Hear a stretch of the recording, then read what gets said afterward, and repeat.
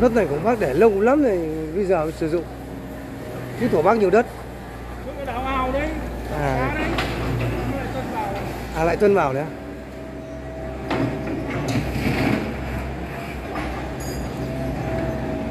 đất đỏ nhưng rất đẹp đấy. Rất sỏi cơm này rồi.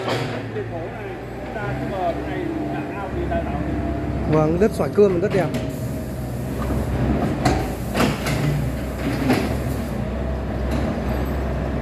Cái ở chỗ kia có cái giếng ở chỗ kia đó